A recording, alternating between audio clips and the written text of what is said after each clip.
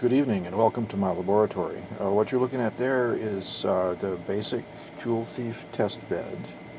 Um, and uh, it has the 2N2222A transistor in there. The only, and a, a, a 1K uh, uh, base resistor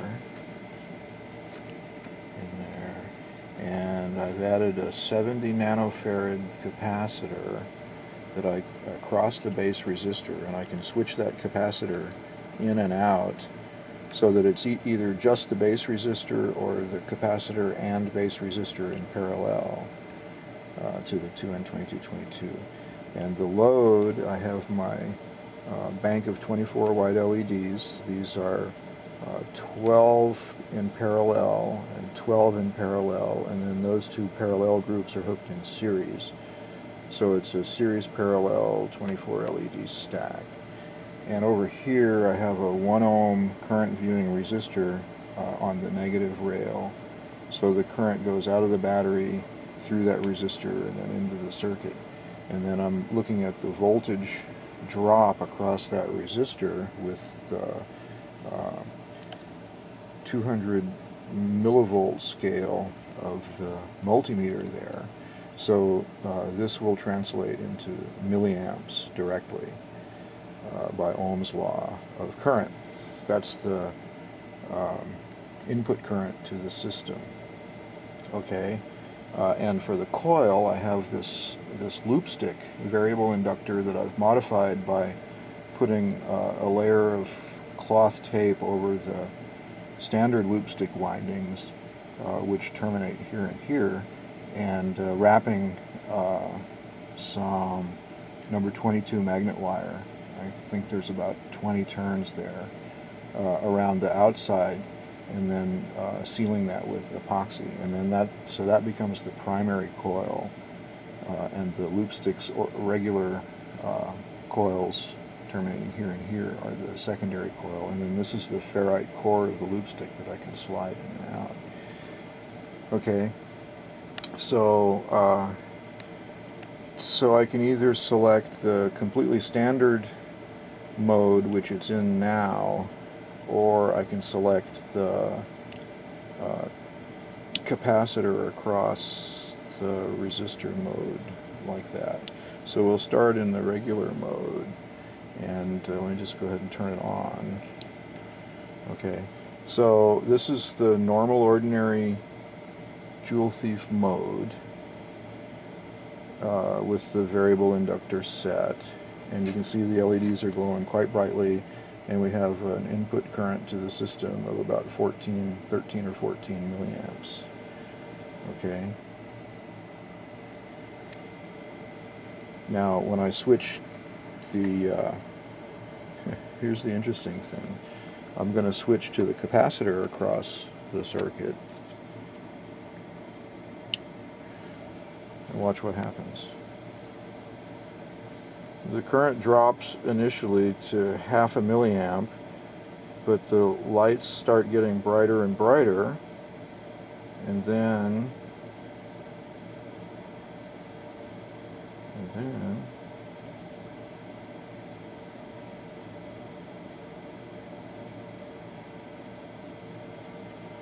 boom, there you go boom, suddenly the system shifts into a brilliant oscillation mode and but the current is less. The current is only about 9 milliamps, 8.9 milliamps.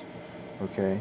Now when it's in this mode, I'm going to go ahead and shift back to the uh, standard Joule Thief mode, taking the capacitor out of the circuit. Boom. And you see the current go up. I don't know if you can detect it or not, but the brightness of the light actually went down when I did that. So it's less bright but more current. Now when I switch back to the capacitor,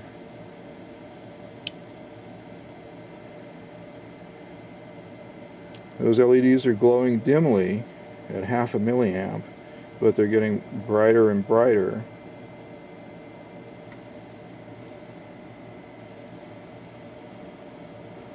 and brighter and brighter and brighter and brighter.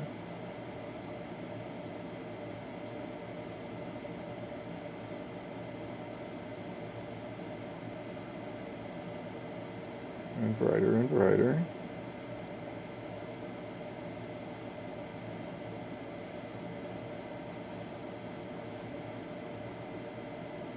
And brighter, boom, until boom, there you go. And now we're back to the 10 milliamps or 9.5 milliamps or so. Nice brilliant bank of LEDs. And uh, and then when I switch back to the normal mode it actually gets a little bit dimmer and the current goes up. I don't know if you can see the slight dimming when I do that on the camera, but it's it's obvious to the eye. Okay, now uh, uh, current and normal joule thief mode here, right? So the capacitor is not in the circuit. And now I'm going to vary the inductance of the coil by moving the loop stick's core in and out.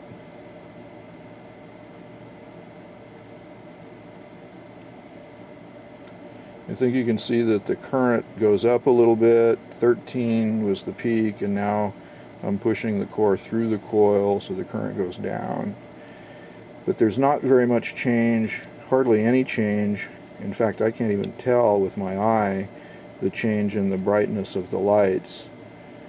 Uh, most of the change that you're seeing on the camera is caused by me moving around rather than the brightness of the lights actually changing with this inductance. Okay. Now when I put the capacitor back in the circuit, by switching to there, now the current and the behavior of the light is very dependent on where you have the inductor placed. So to get that that effect that I showed earlier, you got to have the inductor at just the right spot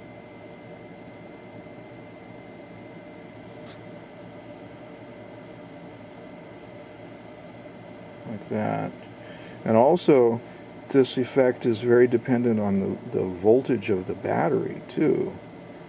Uh, I've found that if the battery voltage is too high, the system actually won't run in the normal joule thief mode. I think because the transistor saturates and the current drain goes up to about 50 milliamps when that happens. But the lights don't come on. Uh, let's see if I can demonstrate that. I'll take this battery out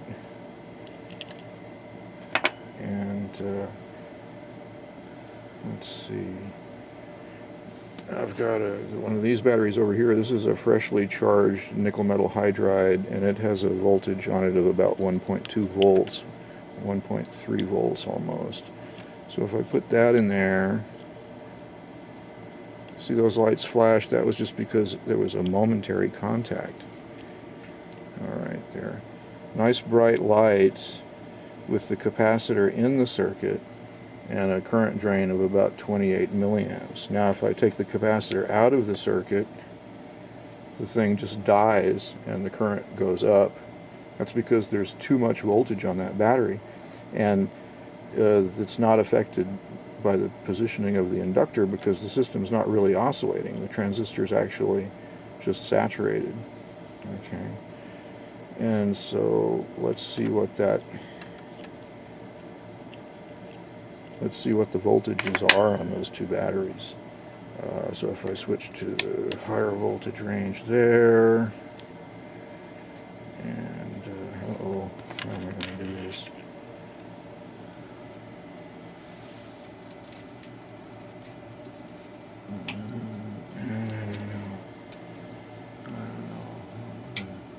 How am I going to make the connection with those batteries with just one hand?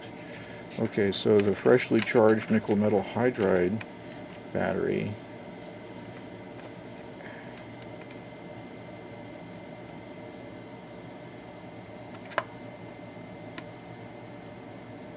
Has a voltage of almost 1.3 volts.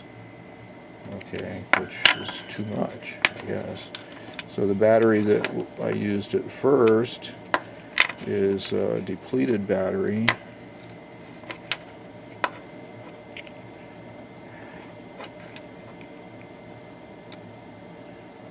and its voltage is just slightly over 1 volt.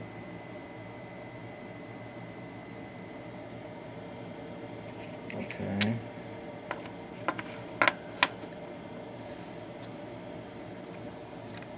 Let's put that one back in there.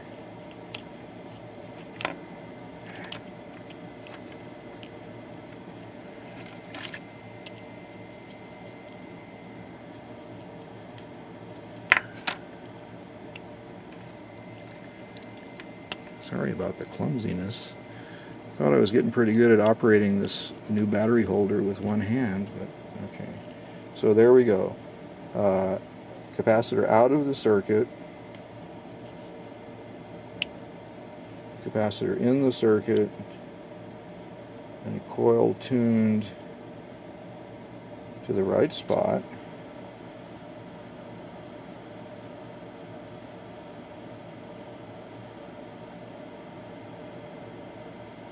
Boom, there's that sudden brightening. All right, thank you for watching.